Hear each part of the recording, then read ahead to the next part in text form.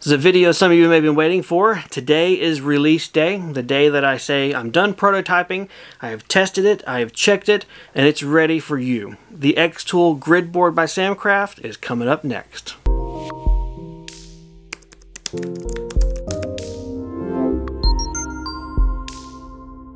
Hey everybody, my name is Sam. Welcome back to Samcraft and welcome to launch day. Launch of the Xtool D1 grid board file by Sam.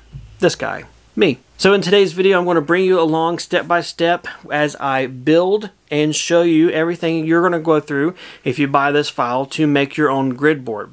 Now if you're not a customer, you're not looking to buy one, this video may still be helpful for you. I go through some tips and tricks on designing, how I laid it out to where I can still use my honeycomb bed, my rotary, my riser feet, and I don't affect the laser itself, yet keep 100% precision and accuracy with the template for engraving as things move. If you want to get this file, it is linked down below on my website, I also have it listed on Etsy and a few other places, but my website is always the cheapest place to get it. There's no seller fees, there's no third party, and that's the best deal. Without further ado though, let's jump into this project and get this thing made. So let's talk about the materials you need to do this project. You need the actual spoil board material itself. In this case, I'm using half inch plywood. I got some pretty good quality plywood from the local hardware store. I wanted something with a lot of layers so it is very stable because if you have your board and it warps at all, it is not going to be very useful for engraving, focusing, cutting, and doing anything of the sort. You've got to have your spoil board level. That's really, really important. In addition to that, you're going to need a scrap piece of 3 millimeter or 8th inch inch plywood, any kind of laserable wood you probably will have around your workshop already. And this is for cutting out the feet that reference the laser itself to your spoil board. You're going to see that there's two different design feet. You can choose which one you want, or if you're like me, decide to cut them both out, and then once you see it in real life, you can pick which one's your favorite then. Alright guys, first things first, let's jump into Lightburn here and let's open the first file of this project, which is going to be the one you use to cut out feet for your grid board. So I'll go ahead and go to open and this one is called Xtool Gridboard Feet Rings. Very creative name by me. Alright, first thing you'll notice when you open this, you're to have eight different feet rings of two different designs. You can pick and choose which one you want to cut. I'm going to go ahead and select all of these, set it to my cut layer of two, and cut them out. I've also put text down here below sharing with you what my particular Xtool D1 20 watt laser will cut Baltic birch plywood at for 3 millimeter Baltic birch, which is 9 millimeters a second, 80% power, and two passes. Of course, with the air assist on and on a honeycomb bed. If you don't have air assist or you don't have a honeycomb bed or if you have a 10 watt, you're going to need to tweak these settings and find out whatever works best for you. But I figure why not give you guys my cut settings, give you a place to start with, and hopefully it works out great and you don't have to waste too much material dialing in your own personal settings. From here, if you know you don't want one design or the other, you could very easily just click, highlight, you could delete it, or down here at the bottom you can click one of your toolpath colors, the T1 or T2, and that just makes it where it doesn't output it to the laser, but saves the file in your design. As always, before you run a job, you want to click the preview button up top. It'll show you what's about to happen. It's always a good practice to get into. So from here, I can see, okay, I'm only going to be cutting out the gear feet, but if I want to do all of them, just select all, go back down to the red cut layer 2 and then if I preview again it shows me okay now we're going to cut out all 8 which is what I'm going to do next.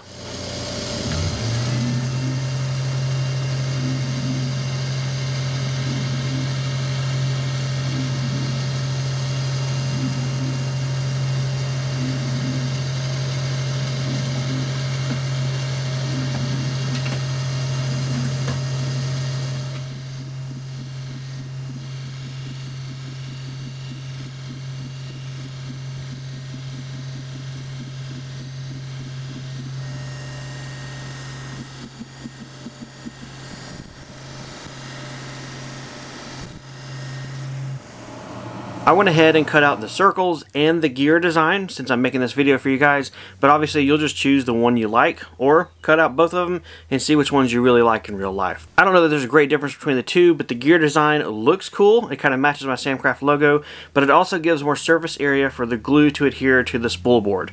I don't think it's going to make a big difference. Obviously, there's enough surface with this as well. In reality, this is just holding your laser right on top of your board at the same spot every time. If you go to remove it, add your extension feet or whatever. And so I really don't think there's a big difference between the two. Just choose what you like. The next thing to do is disassemble the Xtool. Now that we have our feet cut, we can take off the air assist nozzle, take off the enclosure, unhook the wires, get everything off and cleaned off, and then set down our new board, our blank spoil board.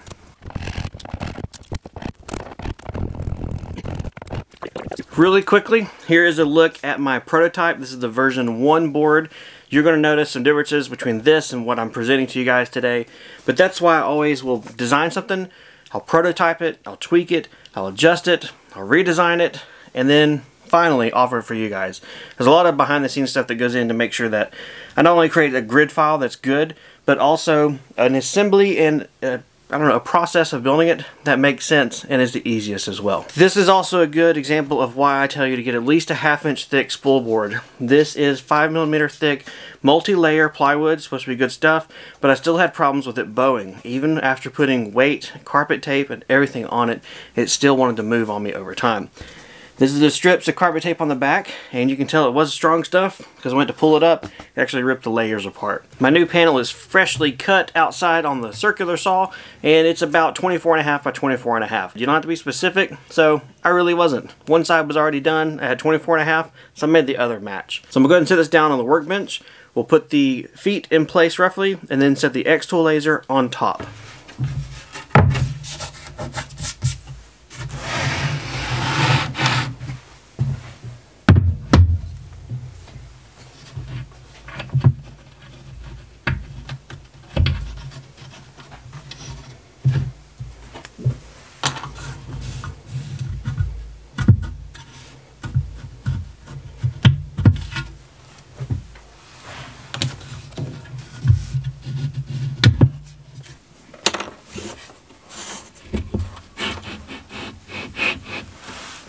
At this point, it's just a matter of moving the laser around and squaring it up however you want while keeping the feet inside the little feet rings.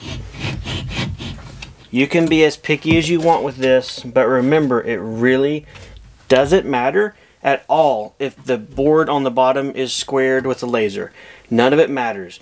You just want the feet on top of the board and everything just like that. It's not that picky.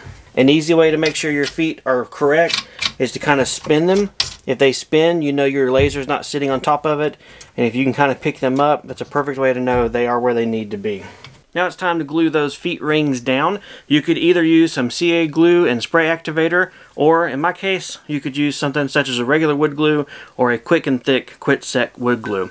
I'm just going to pick the rings up, apply the glue around, probably on the spoil board, and then sit them back down.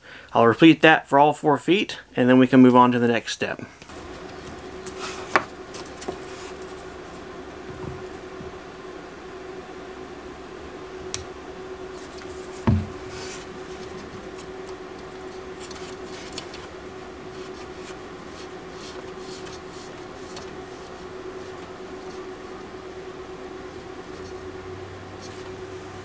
At this point, we need to wait and let that glue set up and dry, but this is the perfect time to jump over into Lightburn, open the grid board file, and let me talk to you guys about a couple of options you're going to see. When you first open this, it's going to look very confusing, so let me try and explain the method behind Sam's design madness here.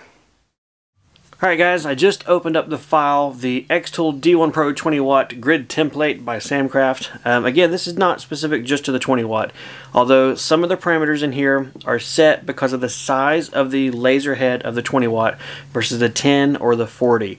So if you have a different module head, go from there. And it's really going to be an issue only if you have the 40 watt because it's a larger machine. The 20 watt and 10 watt, the 10 watt will fit fine. You may have um, more space in here to use than I do because the 10 watt diode head is smaller. Alright, first thing to do here is read through the cuts and layers. I have labeled them as logically as I can.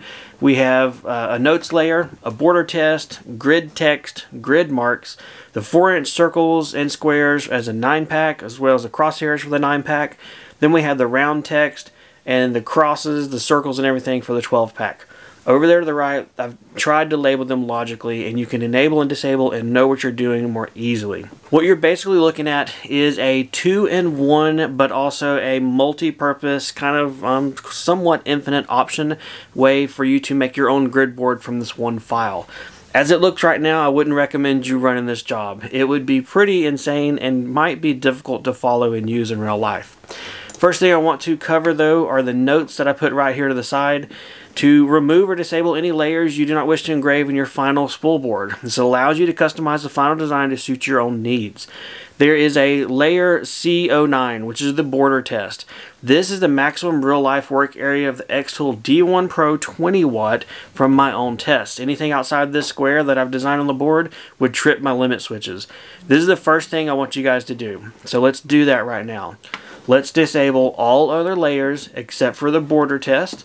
So over here to the right, I'm going to click on the little button to turn off output for every single layer except for that first one, or well, the border test one. By just clicking the output switch off, you can see that you are still able to see your designs there. If you want to just remove them totally and not see them, you can also click off the show button. I wouldn't recommend deleting anything just yet though. I mean, if you want to, you go for it. But at this point, I really use the output and show switches a lot in Lightburn.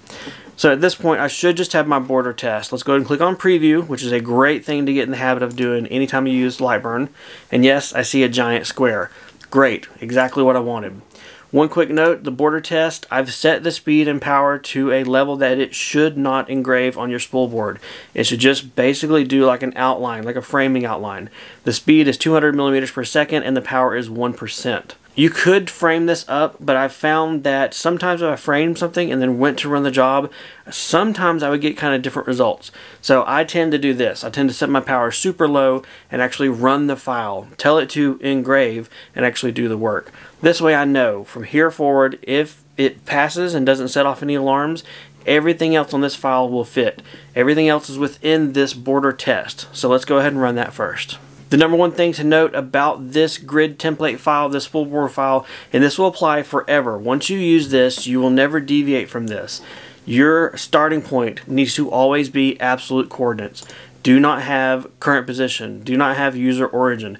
You want absolute coordinates. What that means is its point of origin is the home point of the machine. So whenever you start this thing up, yeah, Lightburn usually will auto home the machine. If you run a file and you want to run the next one, always get in the habit of clicking that home button. Put it where at the home position. That way what you lay out here in Lightburn really makes sense in real life.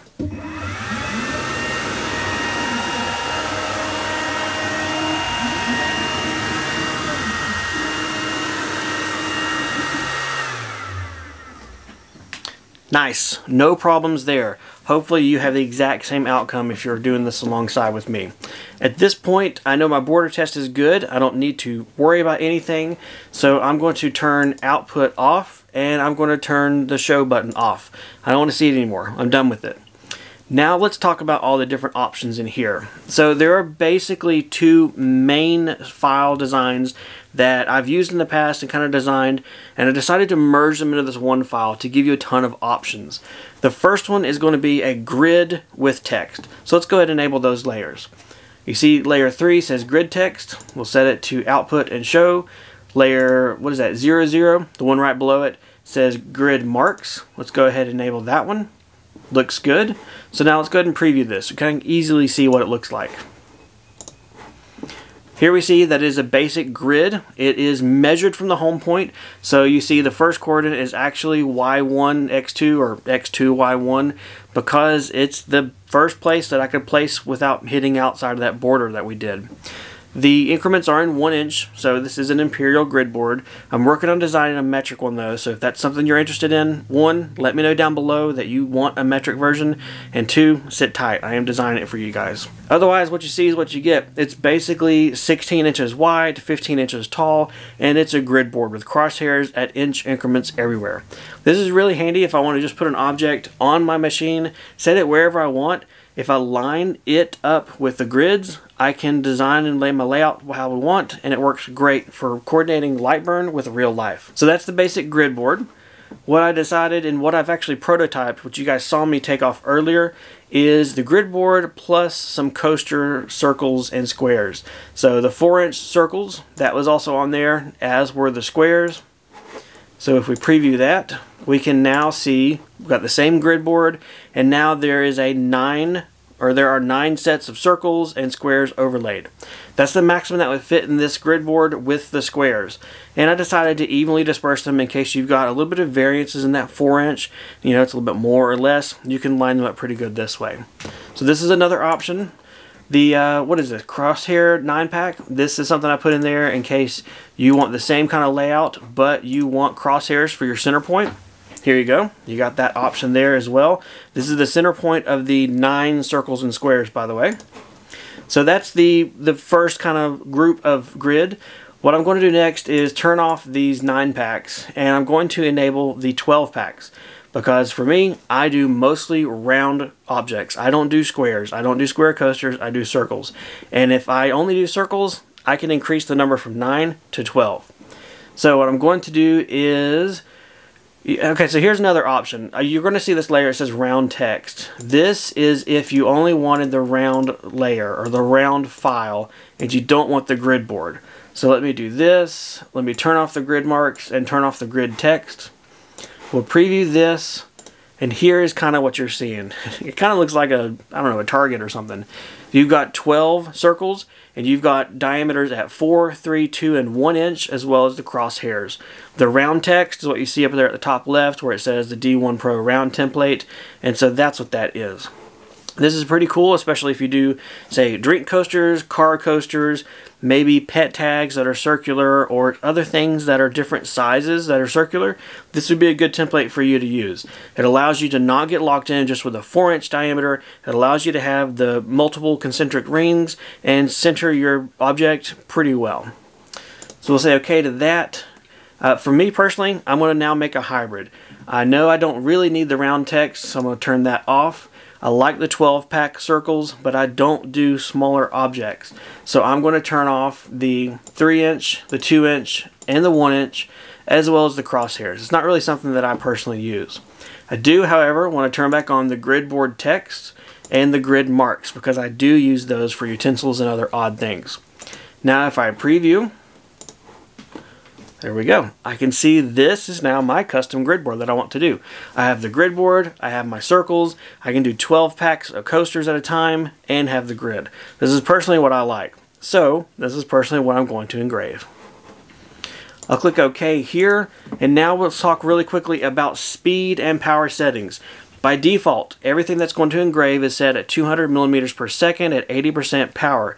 Anything that is fill, so the text and the uh, Samcraft logo is set to the same setting, but overscanning is enabled. In case you don't know it, Xtool wants overscanning. Enable overscanning with Xtool whenever you fill. It gives you better quality results for sure. At this point, I'm ready to go ahead and run it because I've tested the speed of 200 millimeters a second, 80% power on my material, and it gives me pretty good results. However, if you don't know for sure this works for you, don't risk that spoil board you just put down. Grab a piece of scrap wood, if, whether it be the exact same or not, grab something, run it, test it, and see if it's close. At that point, give it a shot. Just don't ruin your spoil board at first in case it's too much. At the same time, if it's not enough power and you do accidentally run it and you're like, oh gosh, I can barely see that, you should be able to run it again and it'll just get a little bit darker. Alright, so that is the light burned file overview. The big jumbled mumbled mess of what in the world hopefully is a little bit clearer now. I have my own custom grid board here. I'm doing my preview, always want to preview. It looks good. I have my circles, I got my grids, and that's what I'm happy with. So the next thing to do is actually run the file on my spoil board. Before I run the file, I do want to show you guys the point of the feet. So I can pick this machine up and the feet are glued in place. They're not going to move. This allows me to add the riser feet to the Xtool if I want to use my rotary and not have to do anything different with the grid board. It's simple to take it out, put my feet in or whatever, and lock it right back in place. It is locked in there. It's not going to go anywhere. That is the key of this whole thing working, are the little feet that we cut out referencing them to the laser and gluing them in place. Now I'm going to stick my enclosure back on here because I'm getting ready to engrave my grid board and that's going to produce a lot of smoke and fumes. I'd rather get it out of the shop than have it in here.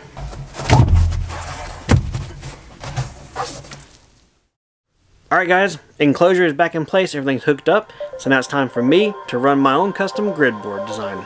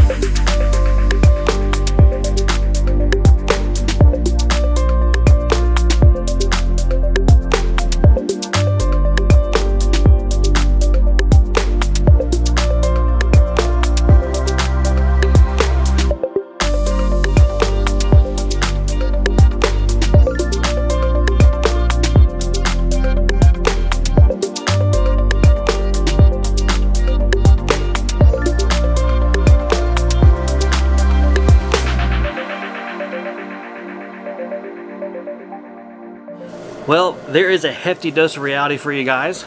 You notice the circles messed up?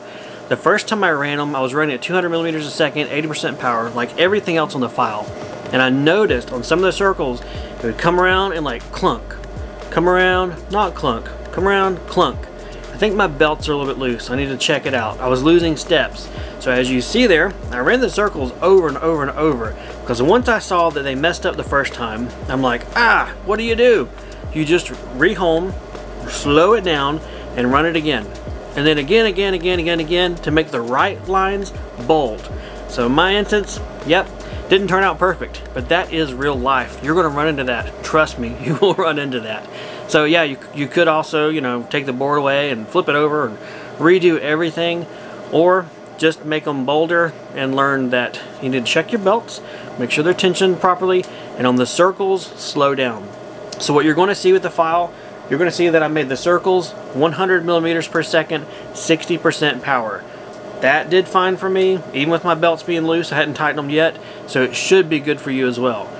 Perhaps it's worthwhile to make the circles and frame it, just kind of at that speed, see how it goes, maybe dial the speed down, I don't know. You guys are creative.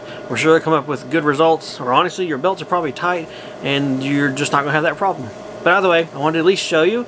And yes, it'll always be there forever and ever. A reminder, machine maintenance really does matter.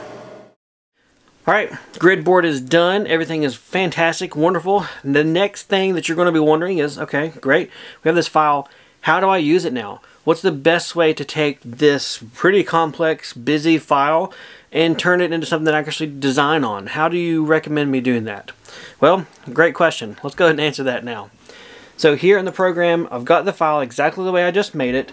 What I would recommend doing is going up to File, Save As, and name it something that you want.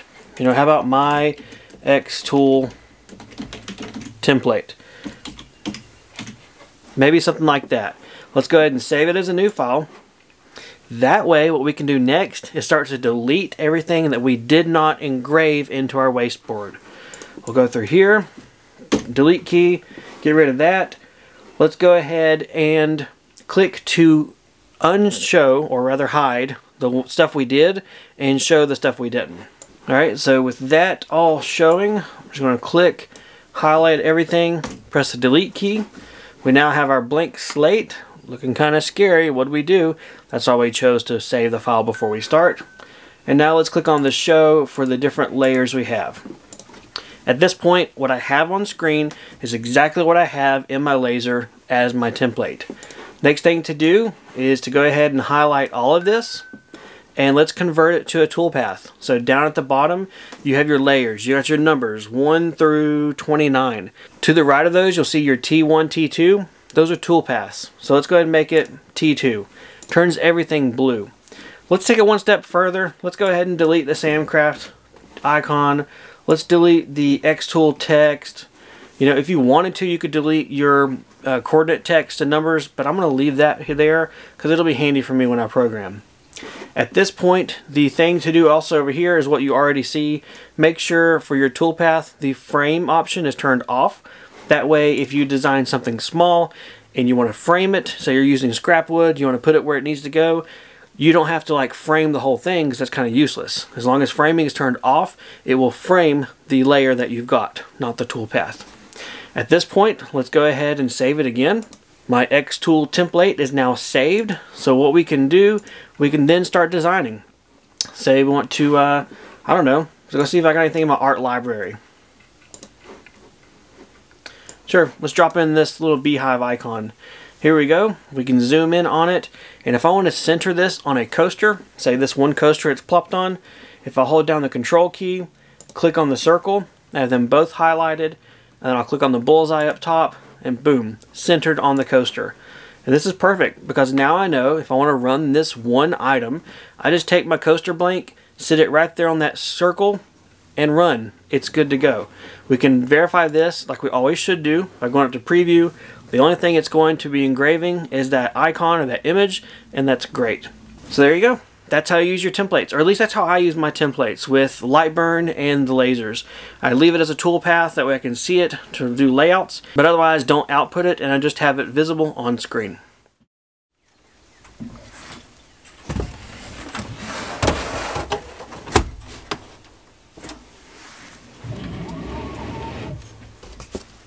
As you guys saw, the grid board and everything that I've done does not affect or hinder my ability to use the honeycomb bed. When I was designing and working on this, it was very important that I did not create something that made me not able to use my rotary, the honeycomb bed, or any other accessories. This is a very easy thing. I, if I wanted to, I could pick the laser up, sit it somewhere else. I could remove the board, or honestly, what I probably would do is just add the riser feet, keep it back on that board, and use it however I need to from there. If you guys are interested in getting this file, again, it is linked down below over my website. It's also for sale on my Etsy store, and I believe the Facebook shop, but the cheapest option is always going to be on my website. I don't have any extra seller fees that I have to do, so things are always the cheapest down there. If you guys got any questions or comments, let me know. If you get this and you make it, please tag me. I'm on social media. I would love to see how it looks for your setup. I would love to see if uh, you did it better than me, which of course you will. You won't have the double vision circles, I'm sure. I made that example and made that mistake so you guys could have something better. Otherwise, appreciate you guys watching and hanging out as always. If you have any questions or comments, leave them below. Take care, and I'll see you guys next time in the workshop.